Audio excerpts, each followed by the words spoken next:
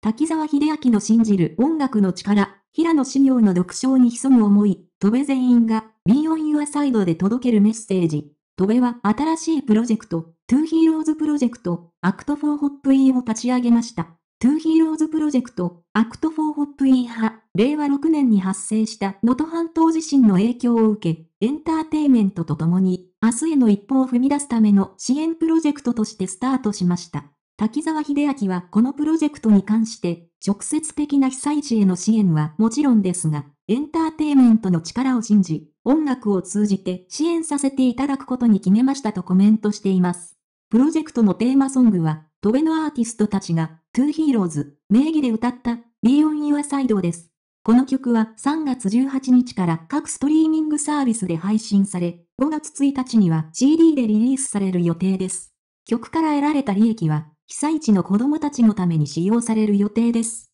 Be on Your Side は、東京ドームで開催されたトベのコンサート、トゥーヒーローズからトベファーストスーパーライブで初披露されました。コンサートの中で13人のアーティストが真剣な歌声を響かせている姿は観客に強い印象を与えました。この曲の作詞は平野志陽、神宮寺雄太、岸優太の3人がナンバー、愛として手掛けました。タイトルの Be on Your Side はあなたの味方である、そばにいるという意味であり、曲全体からは温かさと支えが感じられます。歌詞は切なさを伴いながら始まります。例えば夢の中で生きられるとしたら、その幸せはずっと続いていくのかな、と、私たちは予期せぬ災害や絶望といった困難に直面することがありますが、それでも一人ではないというメッセージが歌詞に込められています。曲の後半では、今同じ瞬間、時を生きてることが、それこそがまるで奇跡なんだ。この世界から悲しみの涙消えるまでという歌詞が、神宮寺と騎士による力強い歌唱とハーモニーで届けられます。